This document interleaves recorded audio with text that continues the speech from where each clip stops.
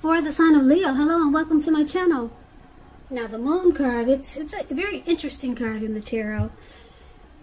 It could have something to do with deception, holding back, um, being or feeling psychic and intuitive. So it's going to be important for you to trust your instincts and, and your impressions, even if you're not sure where it's coming from.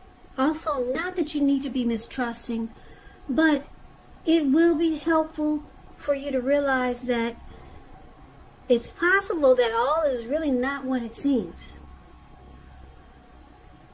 If you feel you cannot trust someone, then you probably cannot. That's what I'm trying to say. Go with your gut instincts.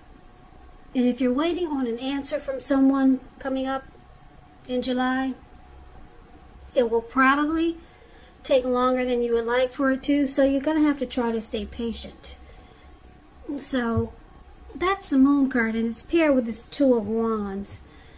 Two of wands is about trying to keep your balance in every way that you can, even to the mundane boring things like eating right, getting enough rest. It also indicates a partnership with another person. Now, this could be business or it could be personal.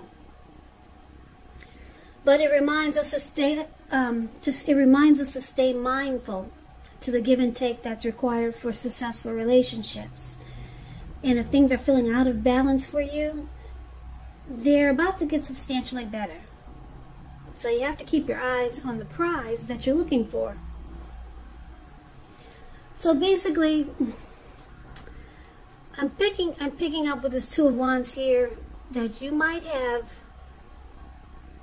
two options towards a future. Two options, two paths with a future. So it's kind of like trying to decide should you take this path or take that path. Two decisions you need to make. Um, that's kind of like what the Two of Wands is is about. Um, or you could be deciding to make a future with someone because you see how he's more focused towards one wand than he is the other. He's more focused on the wand with the bird in his hand. And that's the way he's, he's chosen to sit. Facing the bird and that the wand to the left side of your screen. But you may not be trusting this situation because we got the moon card here. So you might hold back. Yeah, you, you looks like you might just hold back. With this moon card showing up, you may not feel like you may feel like something's hidden from you. Yeah, so you might just stay you might just stay put right where you are, right where you're sitting, and just keep looking at that bird because you feel like uh, something is hidden. So we'll get more clarity once we take a look at the rest of the reading and see what's going on with that. Because it's pretty vague, I know. So let's move on over for now and take a look at how your person sees you. Now, they see you like the devil and Page of Swords. Now, the devil, with this card, you have to keep in mind, no matter what your situation, that you always have options to choose from. First things first, don't let other people tell you that your options are limited. If you come to that conclusion, be sure you come to it on your own. It's going to be crucial that you can, um, to know that you can free yourself from whatever restrictions are holding you back at any time you choose to do so. You could have the feeling that you're not in control of your life, and sometimes this happens as a result of your own actions, but more often it's a byproduct of inaction. So take action. Whatever steps you can to give yourself the feeling, however slight, of being in, control, even making a choice on what you're going to have for dinner. Small baby steps, they're important too. So you see well, they see you as having some type of mm, devil energy. Uh, it could be that you have some addictions, or you could have just some immature or just some crazy behavior that they don't appreciate. Or maybe you invite a lot of trolls into the connection.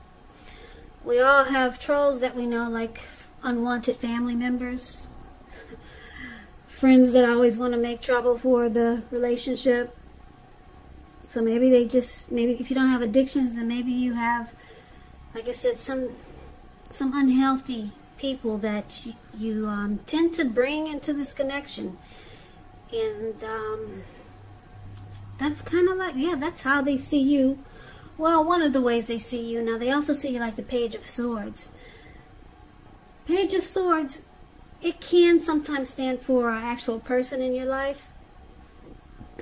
If this is the case, it represents a younger person. Because when you hear the word page in the tarot, that's a student, that's youth, that's immaturity.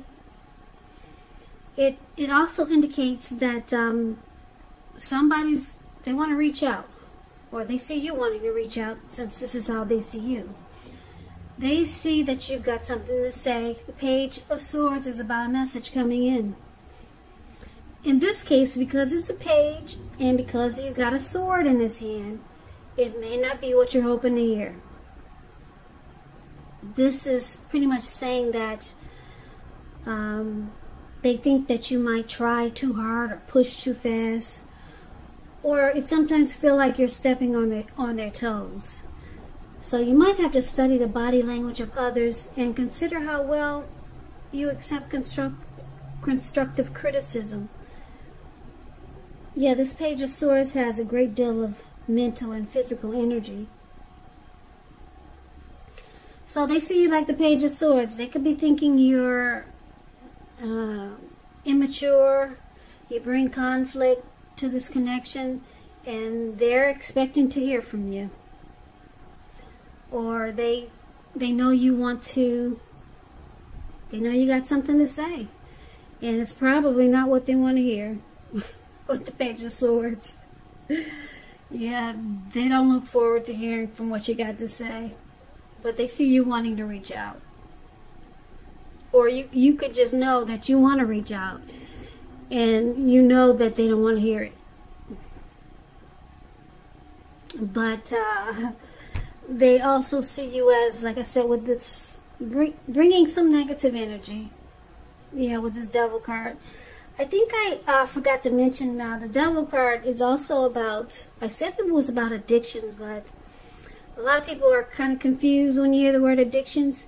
Addictions could be greed, envy, materialism, obsession, sexual lust, alcoholism, drugs, yeah, or just unhealthy energy. They see you bringing some unhealthy energy into this connection and they think they, they see you as being um, immature about it. Yeah. Now, the Page of Swords is also known as a, as a stalker. So they might think you watch them a lot too. I have to throw that in there. So I like to explain the cards because some people are trying to learn and if you don't enjoy the reading, at least you could say you learned something from my from my channel. So I try to give you a, a, a little dose of this and a little dose of that. Now let's take a look at how you see the person you're dealing with. You see them like the Ace of Swords and the Fool card. Now the Ace of Swords it's showing new beginnings, possibly on several fronts. Sometimes this new beginning, it's started by a separation. Could be from a relationship, from a job situation, a neighborhood, some type of separation. Then you get this new, great new beginning on several levels.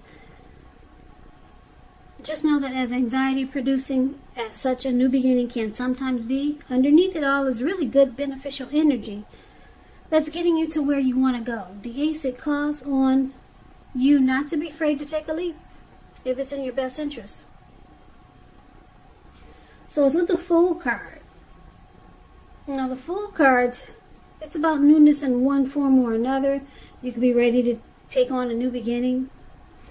It indicates the purity and open-hearted energy, the innocence of a child. We know children are tr trusting and trust. It forms the basis of meaning for this card. It's a positive card in the tarot. Don't get it twisted. It's a positive one. But it's important to, to um, take time to be sure that you're looking where you're going, trusting yourself. Just take a step into the unknown. That's one thing. But if you do so without any thought whatsoever, guess what? It could be a big mistake.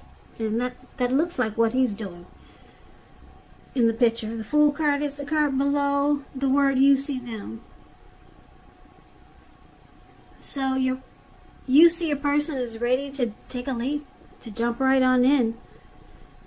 Uh, they could want a new beginning with you, but they know that there's things they need to cut out. Yeah, because these two, both of these cards are about new beginnings. And so I'm picking up, since we got new beginnings in here really strong, your person really, really wants a new beginning. Yeah, they want to take a leap of faith and just jump right on in. Now, this could be with you, but they know they got to separate from something. They got to cut something out. But we'll get more clarity on these two cards when we take a look at the rest of the reading. So, why it's happening? We got this Queen of Pentacles and the Five of Swords.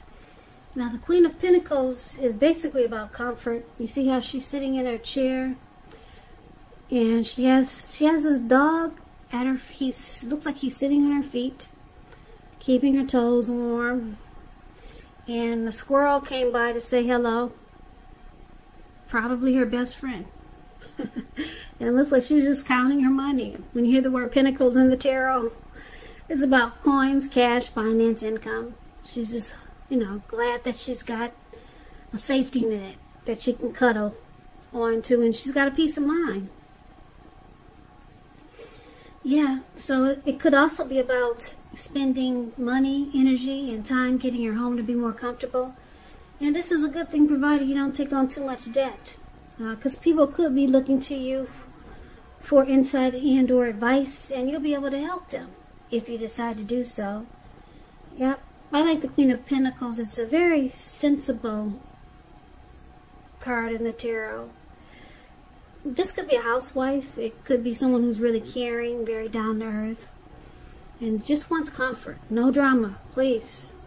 Please don't bring the Queen of Pentacles drama. Yeah. So this is one of the reasons why it's happening, and it's with the Five of Swords.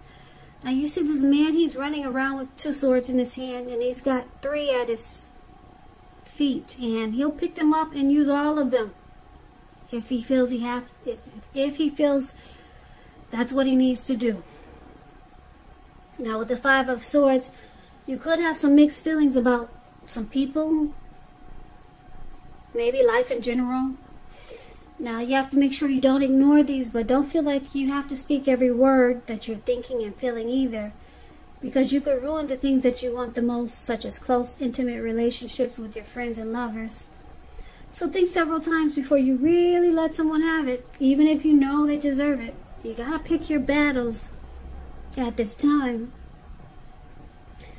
So this Five of Swords is the other reason why it's happening. There's some conflict here, and somebody's really pissed. Somebody's really mad mad at you coming up in July, or you them. You know, it looks like there could be a fight. Mm-hmm. So let's recap the reading and see if we can get the complete picture. Because I know it's all scattered, right? So Leo, like I said, uh, your person, they, I'm picking up, they do not like this devil energy that you bring to the connection. Whether it's you, people you know, addictions, some type of energy that's really annoying. for your person. So they find that it's immature and it's not needed in this connection. That's why the Page of Swords is here. And you see them wanting you to cut it out. They want you to cut this negative energy, this troll energy, these addictions. They want you to cut it out. Because your person, it looks like he's about ready to, or she's about ready to take a leap towards a new beginning. Now, this could be somewhere else because this person looks like he's about to just take a take a big old leap into the ocean. What's below him, all this blue water you see, or you cannot, maybe you cannot see it, but it looks like a huge ocean. They look like they're just about to just, whoa, they, they it looks like they've had enough of this troll energy that you bring to the connection. And they're just taking a leap on something new. It could be a new beginning with a new life, a new person. Um, but they're ready for you to cut it out. That's why that big old sword is there. If you don't cut it out, whatever it is that's annoying, they're ready for a new beginning. Okay? Because it looks like um, hmm. I'm picking up that wow, your person, they, they might have another option with the two of wands here. Yeah, and if it's not another person, they just got another option. Maybe to go stay with their family or friends. Two of Wands is about a choice to make. Should I take this wand or take that wand? Should I go down this path or go down that path? Yeah, because um, with the moon card here, they feel like Something is hidden. Something is hidden, yeah. Now, on the other hand, it looks like you just want comfort, but you you're mad at the way your person is is dealing with this connection. You're really upset with the five of wands, five of swords showing up here. Now, I could say that your person is upset. They could be upset and mad about the way this connection is going. But I'm picking up right now is that you just want peace and comfort. You don't want any you don't want any more drama. It looks like your person could be ready to fight because they think things are hidden from them when they're trying to get you to stop doing whatever devilish things that they think you're doing. So they run around mad a lot of times. Yeah, they might threaten that they have another path to choose. They might just throw that into the fight sometime. Just to get you to do what it is you're supposed to do. So that the connection can be better. And maybe start a new beginning with you. But um, your person think that you keep things hidden from them with the moon card here and yeah they're upset they're ready to fight and take a leap of faith on something because um,